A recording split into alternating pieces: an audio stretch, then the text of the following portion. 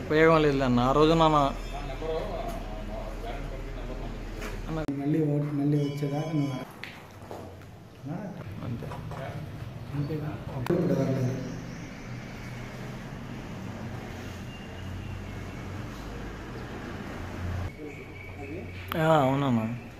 ఇప్పుడు పర్లేదు.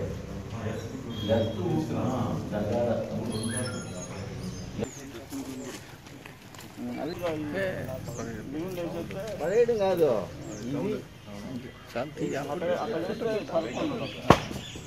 అలా బ్రేక్ అయింది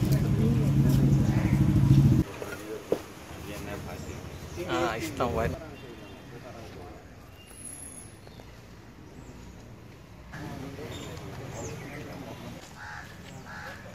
మాత్రం మర్చిపోవడం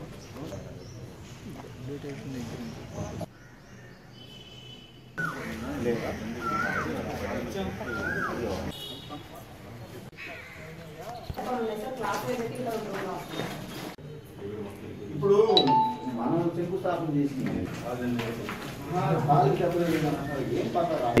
బడుగు బలహీన పేద వర్గాల వాళ్ళు అందరూ కూడా చదువుకోవాలి.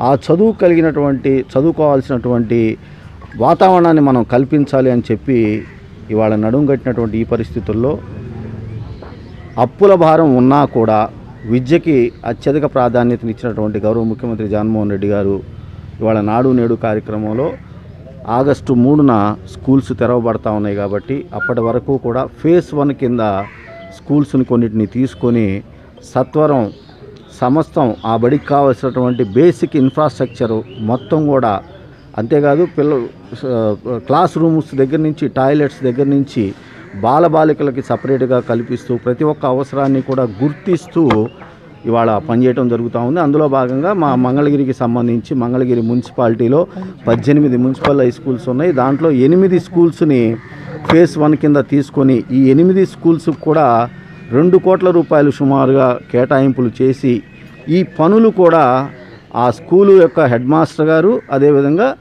పేరెంట్స్ కమిటీ విద్యా కమిటీ చైర్మన్లు ఎవరైతే ఉంటారో పూర్తి పారదర్శకతతోటి పనులు చేయాలని పర్యవేక్షణగా మున్సిపల్ అధికారులు కానివ్వండి ఇతర అధికారులను పెట్టి నాణ్యమైనటువంటి పనుల్ని అతి తక్కువ ఖర్చుతోటి ప- మంచి పరిస్థితుల్లో ఇవాళ ఏర్పాటు చేయడం జరిగింది. వాటిని పర్యవేక్షించడానికి వస్తే అన్నీ కూడా చాలా సక్రమంగా జరుగుతూ ఉన్నాయి.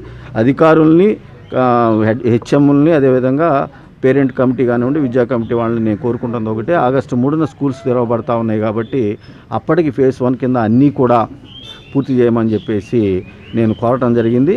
అయితే ఇంకొక సమస్య కూడా ఇక్కడ వస్తూ ఉంది.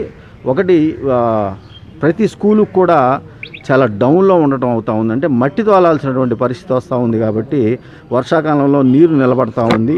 పైగా ఈ పనుల్లో బేస్మెంట్లు కూడా కాస్త పైకి లెగుస్తూ ఉన్నాయి కాబట్టి వర్షాకాలంలో స్కూల్స్ మునిగిపోకుండా ఉండటానికి లోతట్టు ప్రాంతాల్లో మట్టి తోలటానికి కూడా అసెస్మెంట్ చేసి ఎంత క్వాంటిటీ వస్తూ ఉంది ఎంఆర్ఓ గారి దగ్గర దాని పర్మిషన్ తీసుకొని మట్టి తోలే ఏర్పాట్లు కూడా చేయమని చెప్పి మున్సిపల్ అధికారులని కోవడం జరుగుతూ ఉందండి.